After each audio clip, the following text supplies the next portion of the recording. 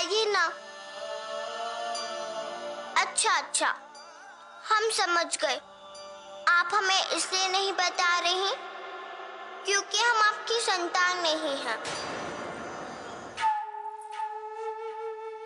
ऐसा कभी नहीं कहना शोभा। ऐसा आपने कैसे कह दिया? आप तो हमारी संतान से भी बढ़कर हैं। अब अब हम कभी दुखी नहीं होंगे? ये जघन्य कांड बड़ी ही निर्ममता के साथ किया गया है। ऐसी क्रूरता हमारे राज्य का कोई आपराधिक प्रवृत्ति वाला मनुष्य तो नहीं कर सकता। अक्षरशः सत्य कह रहे हैं सम्राट। ये घृणित कार्य अवश्य किन्हीं विदेशी लुटेरों जनरेशन डाकुओं के द्वारा किया गया है।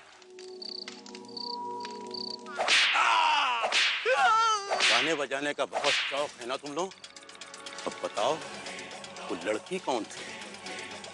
जिसका तुम लोगों ने साथ दिया था? वो वो लड़की? भरूच की राजकुमारी शोभा है राजकुमारी शोभा। है ईदगाह से यहाँ तक आने में इतनी देर कौन है जो हमारे साहबजादे के रास्ते में आके?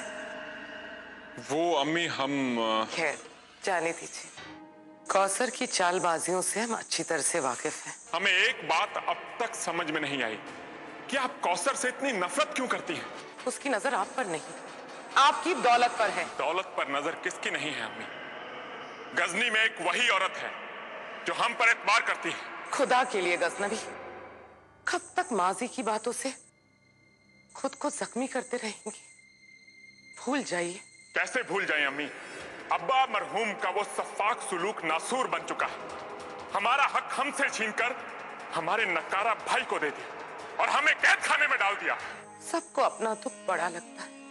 हम माँ हैं, एक ऐसी माँ, जिसके अज़ीज़ और बेकसूर बेटे का बेरहमी से कत्ल कर दिया गया। कातिल भी बेटा।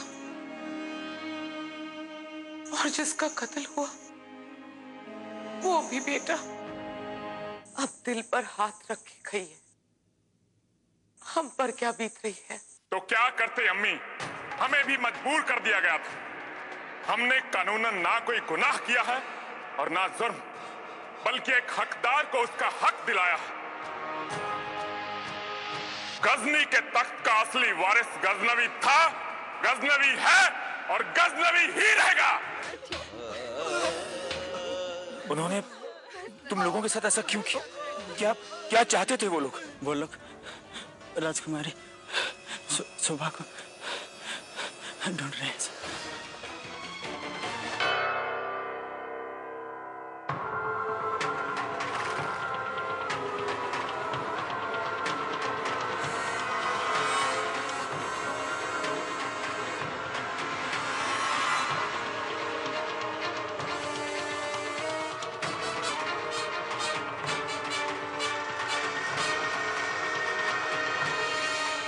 हैं हमारा शिकार।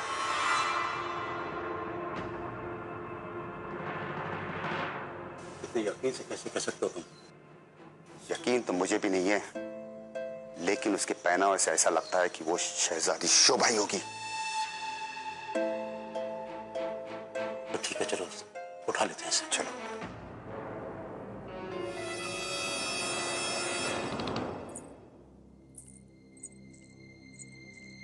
चलिए राजकुमारी जी।